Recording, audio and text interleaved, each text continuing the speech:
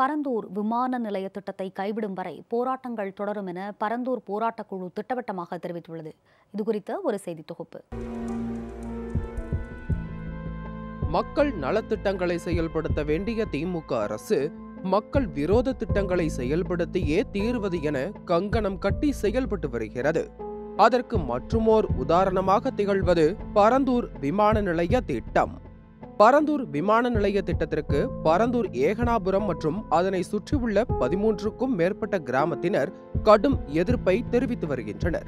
தங்கள் வாழ்வாதாரம் கேள்விக்குறியாகும் என சுற்றுவட்டார கிராம மக்கள் அஞ்சுகின்றனர். புதிய விமான நிலையம் அமைப்பதற்கு எதிர்ப்பு தெரிவித்து நூற்றி நாற்பத்தி எட்டு நாட்களுக்கும் மேலாக அவர்கள் போராட்டத்தில் ஈடுபட்டு வருகின்றனர். இது தொடர்பாக சில மாதங்களுக்கு முன்னர் அப்பகுதி மக்களிடத்தில் அமைச்சர்கள் மற்றும் அதிகாரிகள் பேச்சுவார்த்தையில் ஈடுபட்டனர்.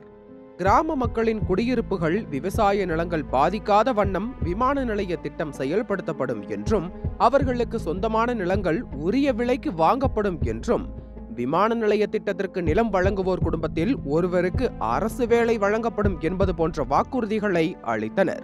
ஆனால் அதனை ஏற்க மறுத்த கிராம மக்கள் போராட்டத்தில் ஈடுபட்டு வருகின்றனர். இந்நிலையில் காஞ்சிபுரம் மாவட்ட ஆட்சியர் உத்தரவின் பெயரில் நிலத்தை கையகப்படுத்துவதற்கான ஆரம்பகட்ட பணிகள் முடுக்கிவிடப்பட்டுள்ளன. இதற்கு எதிர்ப்பு தெரிவித்து ஏகனாபுரம் மற்றும் அதனை சுற்றியுள்ள பதிமூன்று கிராமங்களைச் சேர்ந்த மக்கள் ஆயிரக்கணக்கில் திரண்டு காஞ்சிபுரம் மாவட்ட ஆட்சியர் அலுவலகத்தை நோக்கி பேரணியில் ஈடுபட்டனர்.